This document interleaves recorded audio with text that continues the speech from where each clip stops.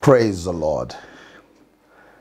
Uh, it was nice just learning about what we became the day we received Jesus Christ, the Lord. Today, I want to handle something that's going to be our next series. And all these things, if you are very careful, they are very related. And the reason why we are, I'm handling these things consistently is because there is a serious need in the body of Jesus Christ. Very, very serious need in the body of Jesus Christ. Because we have very, very ignorant believers. We don't know anything about, you know, like many people, when they give their life to Jesus Christ, it just ends at where we say, I'm born again. Praise the Lord. My name is so and so. I'm born again. I love Jesus as Lord and Savior. And that is it. But we must know that the day we gave our lives to Jesus Christ the Lord, things changed. There was a transformation.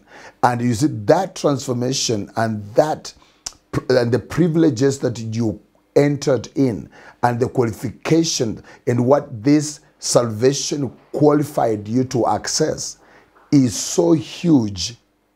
But the enemy has kept us very ignorant because we are we we are very much interested in going to church just to sing to dance. Nothing wrong with that and get some short message somewhere. That's nothing wrong with that. But by so doing we are denying ourselves the some of the most powerful truths that will enable us to live a victorious life. So I want to begin a new series today. We call it Identification with Christ. Now, upon giving your life to Jesus Christ, and you see, particularly today, I was talking to people, you know, we had a uh, we, we have had a leadership meeting, and man, I have never had such a huge leadership meeting like what we have had in the church from Monday. Imagine a seven day leadership training meeting. And it ended up with many people receiving the baptism of the Holy Spirit. And as we were teaching this thing, one of the things that I, you know, I have seen the Lord really bring out is for us to know who we are in Christ. What, what being born again has done in our lives. We have been identified with Christ. Now, tomorrow, uh, or uh, not tomorrow, but today, we are actually going to baptize people. And water baptism is a very serious sign of identification with Christ. And I believe one of the reasons why the devil has fought baptism, that is why we have got so many fashions of baptism, yet the baptism of Jesus is so very clear. He was baptized in water. How we have created so many other forms of baptism, I, I don't know where they come from. And I, I can tell you the reason why we have got so many, so many counterfeit forms of baptisms is because the devil does not want the true message of identification to come out. I want to show, let, let me just today share about like what happens when we get baptized, when we go for baptism just by standing in the water of baptism, you are declaring the death of Jesus Christ. You are declaring that Jesus died just by standing in the water. You are declaring that Jesus died, and you are also declaring that I have died with Jesus. What does that mean? You can imagine, I have died with Jesus. There is this preposition with Jesus buried with him in baptism. You have been buried with him. Now, as you get buried in water, you are declaring not only that Jesus died and was buried, but you are also saying, I died with him and I was buried with him. And when you, you are raised from the water, you are declaring that Jesus wrote, rose from the dead, but I'm also, that I also rose with Jesus Christ. So you can say with the Apostle Paul, it is no longer I who liveth, but Christ liveth in me.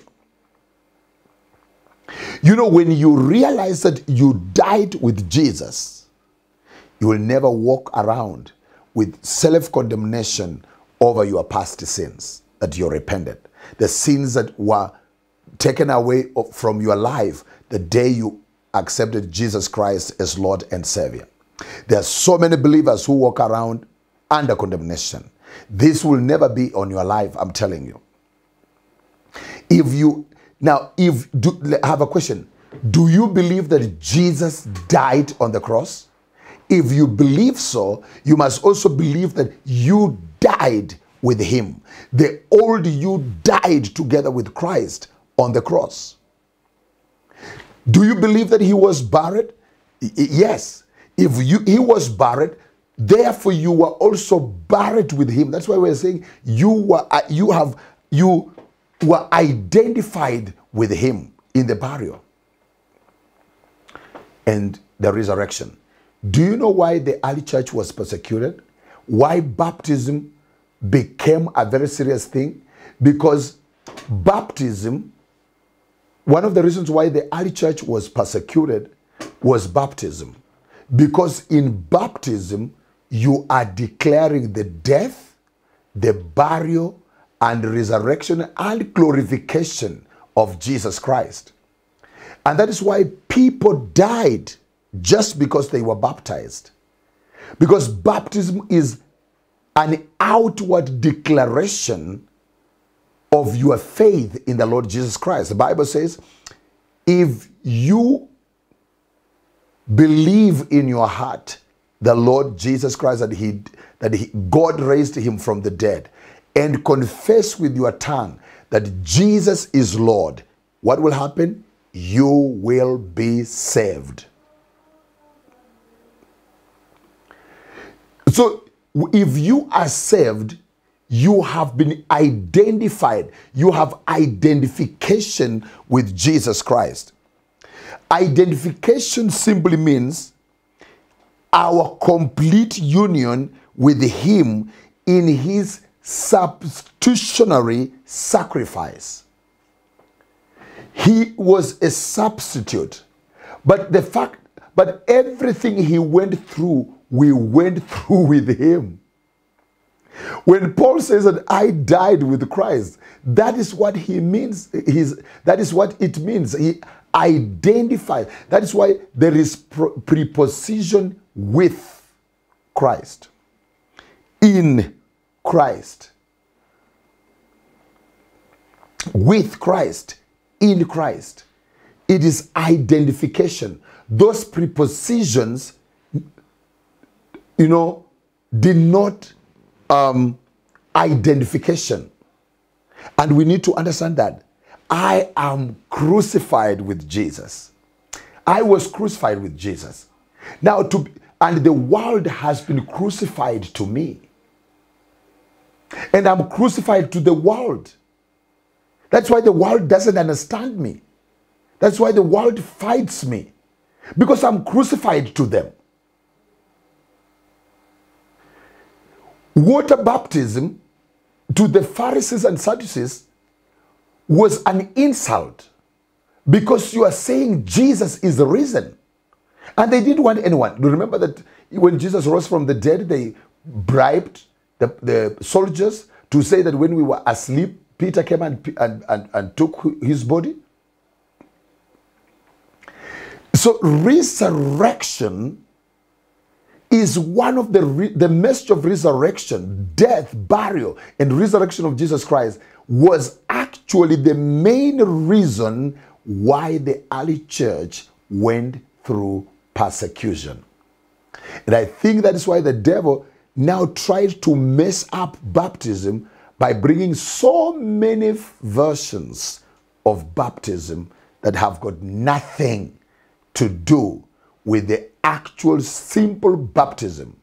Jesus was baptized in River Jordan, and you have got to be baptized in water to identify yourself with your Lord Jesus Christ. Father, I thank you and I give you praise and glory for because of the message of identification with Christ. Our complete union with him in his substitutionary work that he did on the cross of Calvary. I pray that, Lord, you stir up the hearts of my dear brothers and sisters to really understand the mystery of identification with Christ Jesus the Lord. In Jesus' name we pray. Amen. Continue enjoying this spiritual nourishment. Click on subscribe button below. Click on the notification bell to become the first to know when we upload another video. Thank you and see you in our next broadcast.